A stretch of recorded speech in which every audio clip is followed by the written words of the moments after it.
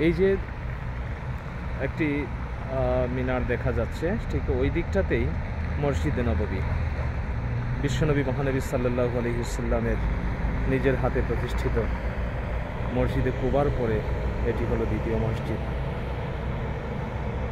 এবং আমরা ওই দিক থেকে এই রাস্তা ধরে, এই রাস্তা ধরে আমরা আমরা এইদিকে এসে- এই যে- ভবনটি দেখা যাচ্ছে, এটি বর্তমানে মদিনার প্রশাসনিক ভবন এবং এই রাস্তা ধরে আমরা এই দিকে এসছি। আমি এখন একটি সবুজ গালিচার ঘাসের উপর মূলত দাঁড়িয়ে আছি। এটা নতুন করে করা হয়েছে। এই যে মসজিদটি দেখা যাচ্ছে, এই মসজিদটি উসমানীয় খেলাফতের সময় প্রতিষ্ঠিত।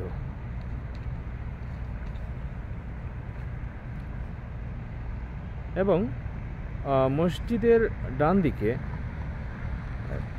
এই যে আমরা দেখতে পাচ্ছি, এটি হলো Medina railway station. Medina railway station, এটি হলো উসমানীয় খলিফা, দ্বিতীয় আব্দুল হামিদ খান। তিনি যে হেজাজ রেলওয়ে প্রকল্প বাস্তবায়ন করেছিলেন তার অংশ হিসাবে মদিনা রেলওয়ে স্টেশনটি এই- এইখানে তিনি এইভাবে নির্মাণ করেন, Medina railway station. Sultan Abdul Hamid Khan তিনি মুসলিম বিশ্বের একজন দায়িত্বশীল খলিফা ছিলেন। তার একটি বড় উদ্দেশ্য ছিল যে পবিত্র মক্কা এবং মদিনার সাথে গোটা মুসলিম বিশ্বকে কানেক্টেড করা। এমনভাবে কানেক্টেড করা যাতে করে মুসলিমগণ খুব সহজে এই হারামাইন শরীফ অর্থাৎ দুটি পবিত্র মসজিদে তারা যেন জিয়ারত করতে আসতে পারেন।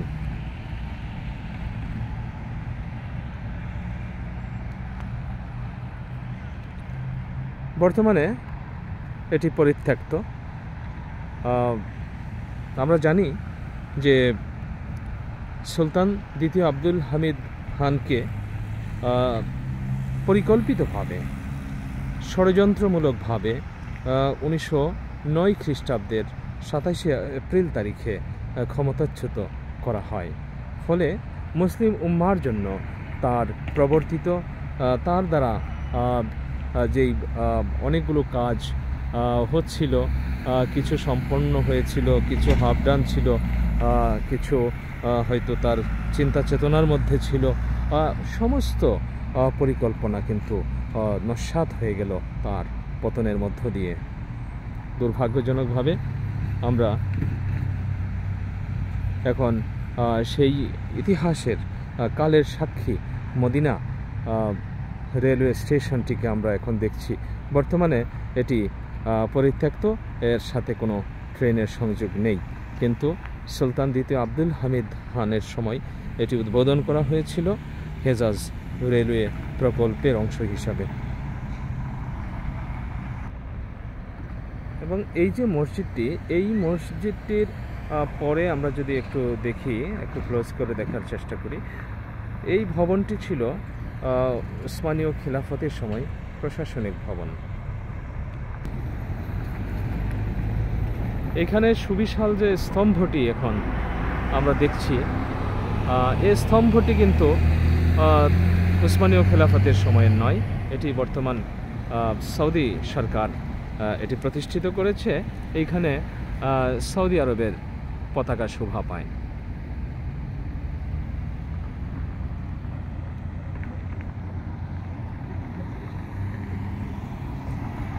আমরা দেখছি সুলতান দ্বিতীয় আব্দুল হামিদ খান কর্তৃক প্রতিষ্ঠিত হেজাজ রেলওয়ে প্রকল্পের অংশ হিসাবে পবিত্র মদিনা রেলওয়ে স্টেশন।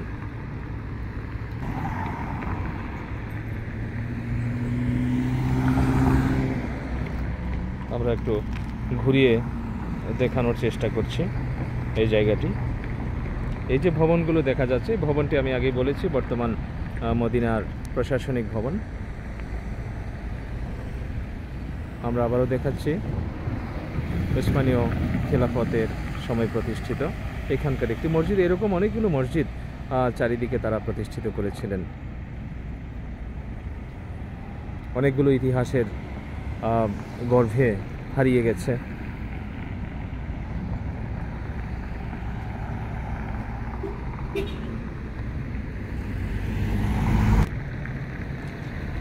সুলতান দ্বিতীয় আব্দুল হামিদ খানের স্মৃতি বিজড়িত, তার দ্বারা প্রতিষ্ঠিত হেজাজ রেলওয়ে প্রকল্পের আওতায় এই পবিত্র মদিনা রেলওয়ে স্টেশন। তিনি মুসলিম বিশ্বের এমন একজন দায়িত্বশীল খলিফা ছিলেন, যাকে পশ্চিমা বিশ্ব খুব সমীহ করত এবং তাকে তারা পথের কাঁটা মনে করত। ইহুদিরা তাকে প্রস্তাব দিয়েছিল যে একশো পঞ্চাশ মিলিয়ন পাউন্ড তারা সুলতানকে, খলিফাকে দিতে রাজি আছে যদি জেরুজালেম ইহুদিদেরকে দিয়ে দেওয়া হয়। জবাবে সুলতান দ্বিতীয় আব্দুল হামিদ খান বলেছিলেন যে একশো পঞ্চাশ মিলিয়ন পাউন্ড কেন? পৃথিবীর কোনো সম্পদের বিনিময়েই আমি আমাদের প্রথম কিবলা, বাইতুল মুকাদ্দাস এবং আমাদের পবিত্র ভূমি জেরুজালেমের এক কণা মাটি পর্যন্ত কারোর কাছে আমি তুলে দিতে পারি না। এবং তিনি সেইভাবেই সব কিছুর সুরক্ষা প্রদান করেছিলেন।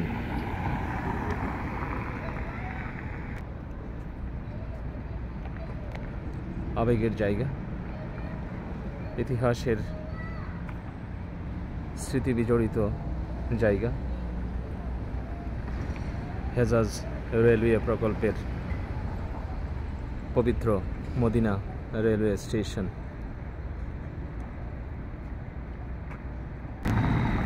আমরা অনেক দূর হাঁটতে হাঁটতে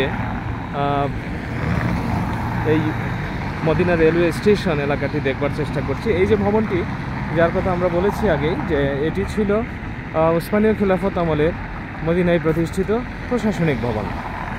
আর আমরা যেই পথ হেঁটে এসেছি, দীর্ঘ পথ আমরা হেঁটে এসেছি এবং এই যে ভিতরে যা যা দেখতে পাচ্ছি আমরা এইগুলোই ছিল, এই অংশটি ছিল মদিনা রেলওয়ে স্টেশন।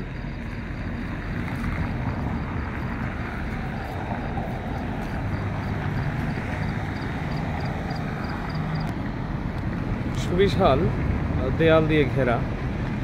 ভেতরে প্রবেশের কোনো ব্যবস্থা দেখা যাচ্ছে না। আমরা একটু ক্যামেরায় দেখানোর চেষ্টা করছি।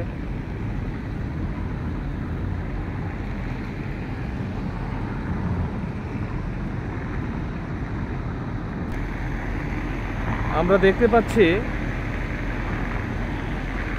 রেলওয়ের সেই বগি পরিত্যক্ত অবস্থায় আছে এবং একটি ট্রেন দেখা যাচ্ছে, পরিত্যক্ত অবস্থায়। অনেকগুলো বগি।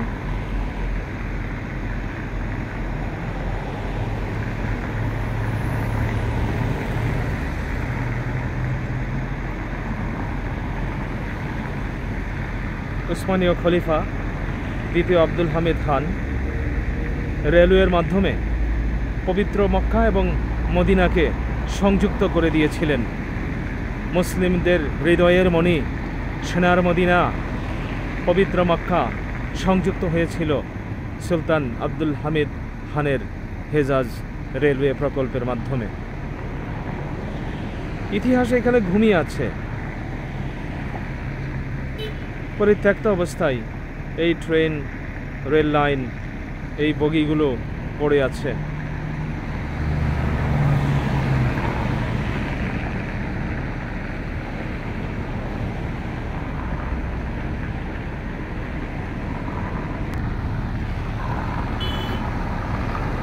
আমরা দাঁড়িয়ে আছি মদিনা রেলওয়ে স্টেশনে। উসমানীয় খেলাফত আমলে সুলতান দ্বিতীয় আব্দুল হামিদ খানের হেজাজ রেলওয়ে প্রকল্পের সেই স্মৃতি ধারণ করে আছে এই মদিনা রেলওয়ে স্টেশন। সুলতান পবিত্র মক্কা এবং মদিনা নগরীকে রেলওয়ে প্রকল্পের মাধ্যমে, নেটওয়ার্কের মাধ্যমে সংযুক্ত করেছিলেন। তার স্বপ্ন ছিল মুসলিমরা যেন বিভিন্ন দেশ থেকে খুব সহজে তাদের হৃদয়ের পবিত্রতম জায়গাগুলোতে জিয়ারতে আসতে পারেন।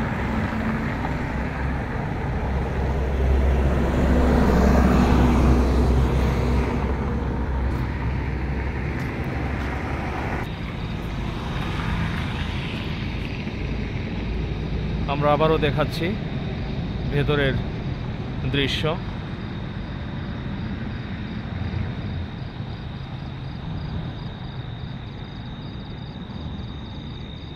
হেজাজ রেলওয়ে প্রকল্পের পবিত্র মদিনা রেলওয়ে স্টেশন।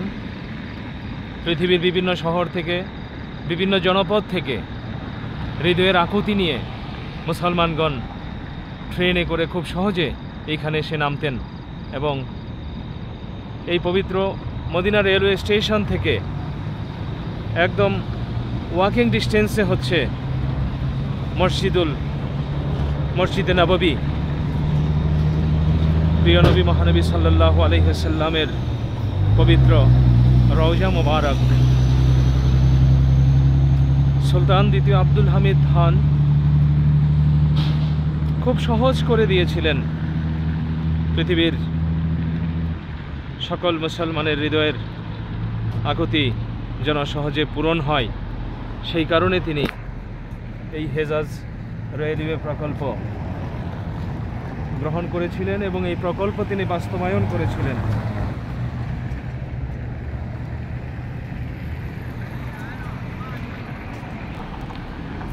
আমরা বাহির থেকে দেখছি, এই যে দেয়াল সুবিশাল দেয়াল করে দেওয়া হয়েছে এখন। প্রকল্পটি যেহেতু পরিত্যক্ত হয়েছে, এখন অনেকটা জাদুঘরের মতোই। তুর্কি খেলাফতের সময় প্রতিষ্ঠিত এই মসজিদটি আবার আমরা একটু দেখছি। কিন্তু এখন এইখানে যেই ফ্ল্যাগ স্ট্যান্ডটি আমরা দেখতে পাচ্ছি, এটি বর্তমান সৌদি সরকার কর্তৃক প্রতিষ্ঠিত। এখানে সৌদি আরবের পতাকা ওড়ানো হয়। আমরা দেখতে পাচ্ছি ফ্ল্যাগ স্ট্যান্ডটি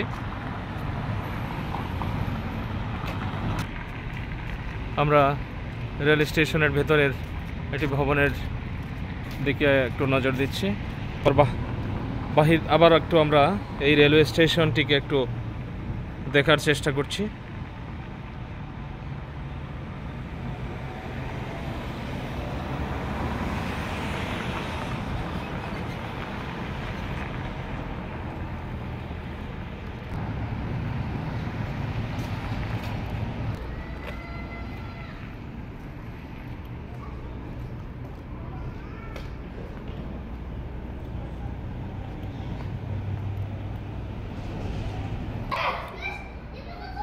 এখন এখানে লেখা আমরা দেখতে পাচ্ছি Al Madina Al Munawwara museum.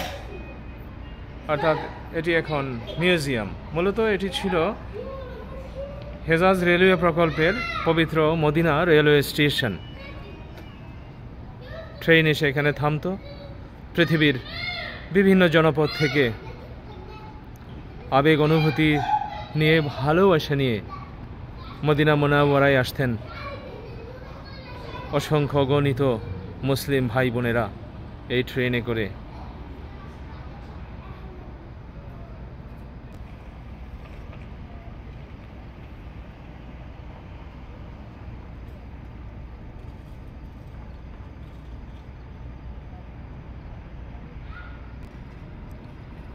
এখানে সে ট্রেন থামতো। আমরা সেই জায়গা দেখতে পাচ্ছি। ট্রেনের একটি পরিত্যক্ত বগি এখানে দেখা যাচ্ছে।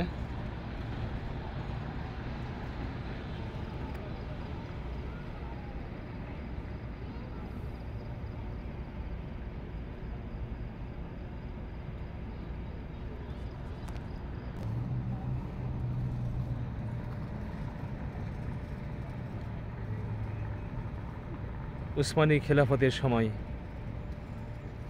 সুলতান দ্বিতীয় আব্দুল হামিদ হান কর্তৃক প্রতিষ্ঠিত হেজাজ রেলওয়ে প্রকল্পের পবিত্র মদিনা রেলওয়ে স্টেশন বর্তমানে যা পরিত্যক্ত। আমরা সেখানে দাঁড়িয়ে আছি।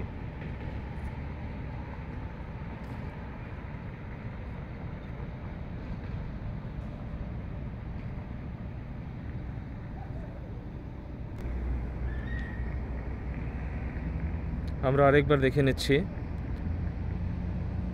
সুলতান আব্দুল হামিদ হান কর্তৃক প্রতিষ্ঠিত হেজাজ রেলওয়ে প্রকল্পের পবিত্র মদিনা রেলওয়ে স্টেশন।